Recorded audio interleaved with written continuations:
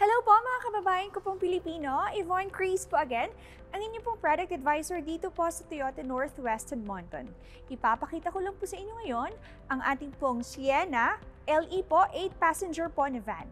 Ito pong Sienna po natin, meron po siyang 3.5 liter po V6 engine.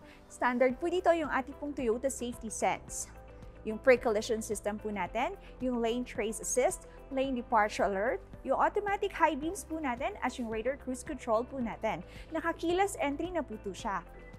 At saka meron po siyang power slide door po. So ayan po, very spacious po yung ating legroom. Sobrang komportable po pag nagte-travel po tayo kasama pong ating family at yung mga barkada. At yung maganda po dito, naka-easy to clean fabric seat materials po tayo. At saka pwede po nating i-fold ito at pwede po nating ma-move paharap para po sa ating pong third row seats na sobrang spacious din po. Perfect po pag nag-drive po tayo, long drive po. So this Sienna is equipped with turn ignition key po.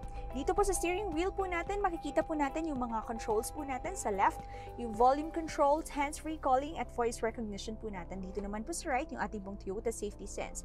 Dito naman po sa ating touchscreen, very nice and easy lang po.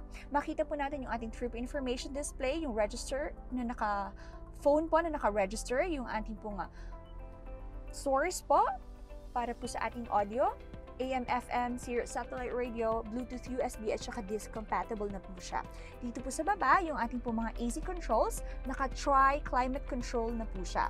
At here naman po sa baba, yung ating po control sa ating heated seats po, extra USB port at saka 12 volts na outlet. So ito pong Sienna natin na LE po, 8-passenger. Pwede po nating makuha ito for 239 bi-weekly po for 96 months, zero down at 3.99 interest rates po on approved credit.